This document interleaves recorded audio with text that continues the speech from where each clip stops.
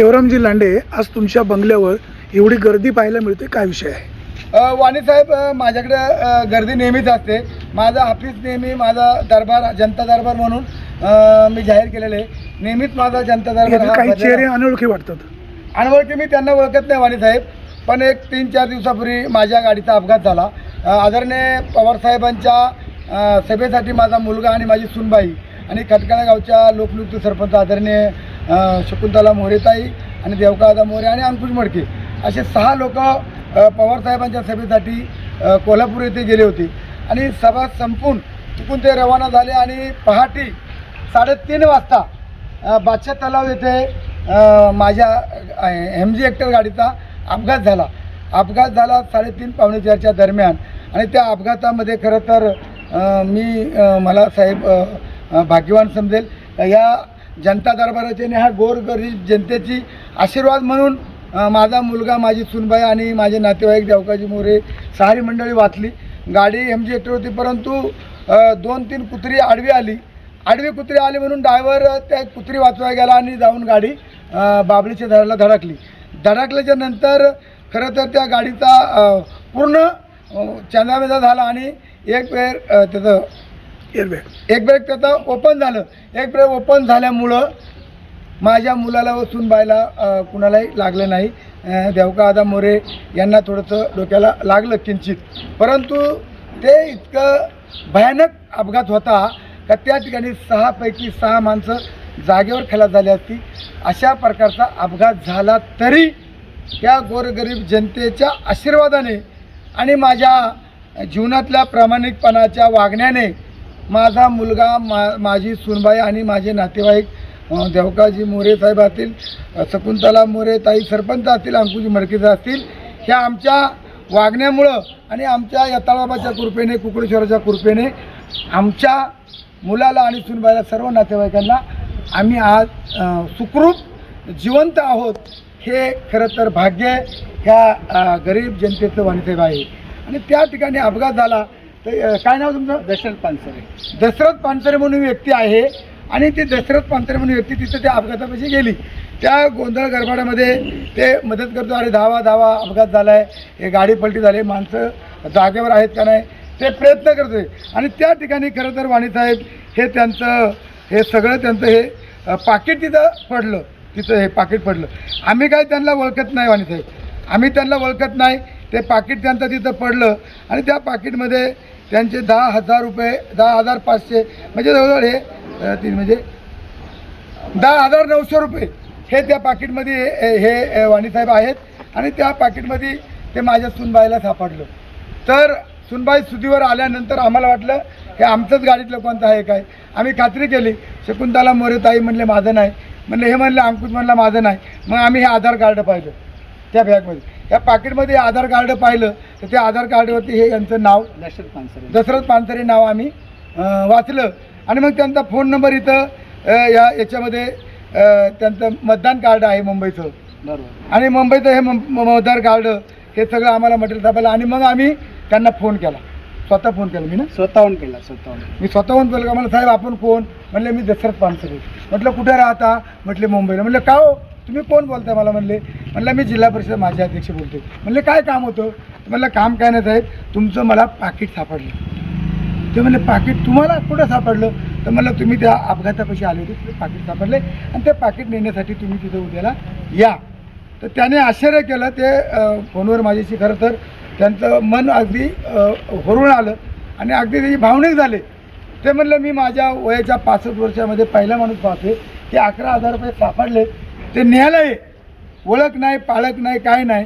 आणि सापडलेलं पाकिट आणि हे किरकोळ कागद आधार कार्ड आणि डॉक्युमेंट डॉक्युमेंट्स हे न्यायला बोललं म्हणले तुम्ही माणूस नसून तुम्ही कोणीतरी परमेश्वराचा अवतार आहे. असं उद्गार खरं तर. यांनी मला काढले. त्याबद्दल वाणी साहेब मला खूप वाईट वाटलं. आणि खरंच अशी माणसं म्हणजे आणि ही जे जनता आहे माझ्या आदिवासी भागातली सगळी गरीब जनता.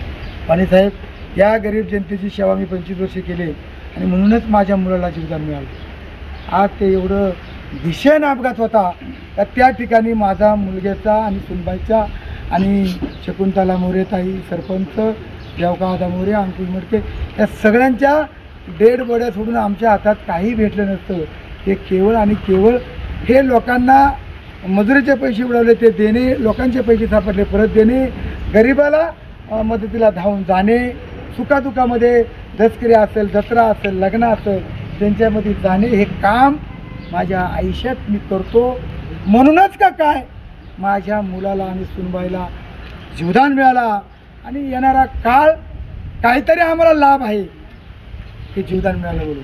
मग ती निवडणूक असेल काही असेल त्याच्यामध्ये परमेश्वराच्या कृपेने या तळाबाच्या कृपेने आणि कुकडेश्वराच्या कृपेने आणि ह्या माझ्या गरीब जनतेच्या कृपेने काहीतरी आम्हाला लाभ आहे असं मला वाटते आणि म्हणून मी हे त्यांचं हे अकरा हजार रुपये आणि हे कागदपत्र मी त्यांना साहेब तुमच्या साक्षीने मी त्यांना हे देतोय ते त्यांनी स्वीकारावं. पानसरेजी आपलं गाव कुठलं? अ, माझं नाव माझं गाव घोडेगाव आहे सर ज्या दिवशी अपघात झाला हा. त्या ठिकाणी तुम्ही कसे उपलब्ध? अ, आम्ही मुंबईवरनं घोडेगावला जात होतो. पाटेचा टायमिंग होता. आणि त्या टायमिंगमध्ये आम्ही यायच्या जस्ट दोन तीन मिनटं किंवा पाच मिनटं आधी यांच्या गाडीचा ॲक्सिडेंट झाला. म्हणजे त्यांची गाडी आत्ता मला माहिती पडते. आधी मला माहीत नव्हतं यांची गाडी आहे. यांचा आणि माझा म्हणजे परिचय नाही काही नाही. परंतु तिथे आम्ही ती गाडी ॲक्सिडेंट झाल्याच्यानंतर आम्ही तिथे गेलो. म्हटलं ड्रायव्हरला बोललं माझ्या गाडी साईडला घे जरा काय झाले बघू माणसं हे करतात. आणि मग तिथे आम्ही यांची मदत करण्यासाठी गेलो तिथे. ती माणसं पडली त्यांची मदत करण्यासाठी. तिथे गेलो तर आम्ही फक्त एवढंच केलं की बाबा या लोकांना कुठेतरी लवकर हॉस्पिटलमध्ये नेलं पाहिजे. कारण त्यांचं जीवदान त्यांना मिळेल. जीव वाचला पाहिजे. जीव वाचला पाहिजे. याच्या संघाने आम्ही तिथे उतरलो. आणि त्या गडबडीमध्ये माझं तिथे पॉकेट पडलं. आणि मग आम्ही पुढे निघून गेलो. पुढे निघून गेल्याच्यानंतर मग दोन दिवसांनी मला साहेबांचा फोन आला. पण पाकिट हरवलंय तुम्हाला कधी कळलं? मला घरी गेल्यावर समजलं की माझ्या खिशामध्ये पॉकेट नाही आहे परंतु मला माहितीच नव्हतं की माझं पॉकेट इथे पडलं आहे घरी गेल्यावर मी माझं खिशे बघतोय तर पॉकेट नाही. आहे मग मी थोडा हे झालो कंप्लीट झालो आणि मला थोडा हे शॉक बसला की गावाला आलो माझ्या खर्चाच्या पॉकेटमध्ये पैसे होते ते देखील पडलेत. आता करावं काय? आता मी काही पाहुण्यांकडे मागावं की काय करावं? म्हणजे मला स्वतः लाज वाटत होती. पण या साहेबांचा दुसऱ्या दिवशी फोन आला मला की तुम्ही इथे आला होतात का? इथे तुमचं काय पडलं आहे का? यांनी स्वतःहून विचारलं. त्यानंतर मी त्यांना सांगितलं हो माझं तिथे पॉकेट पडण्याची शक्यता अशी मला वाटते. मी तिथे हे म्हटले मला तुम्ही कशाला उतरले होते तिथे? मी म्हटलं ती माणसं थोडी इकडे तिकडे पडली होती गाडीचा ॲक्सिडेंट झाला होता. आणि म्हणून ते बघण्यासाठी किंवा त्यांना सहकार्य करण्यासाठी मी तिथे उतरलो. होतो आणि त्या गडबडीमध्ये माझं पुन्हा अशा आहेत की अशी माणसं जगात फार कमी आहेत. आणि अशा माणसांना किंवा अशा साहेब लोकांना खूप लोकांचं किंवा देवांची खूप आशीर्वाद मिळावा. आणि यांनी जे आत्ता मला फोन करून बोलवलं खूप मला असं मनामध्ये भरून आलं की आपलं कोणतरी आहे. असंच गोरगरिबांना असे नेते भेटले किंवा अजून सहकार्य भेटलं तर खूप आनंद वाटेल.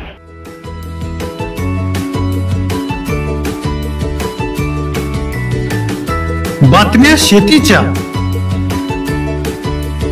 बातम्या मातीच्या. बातम्या अन्यायाच्या. गुन्हेगारीच्या.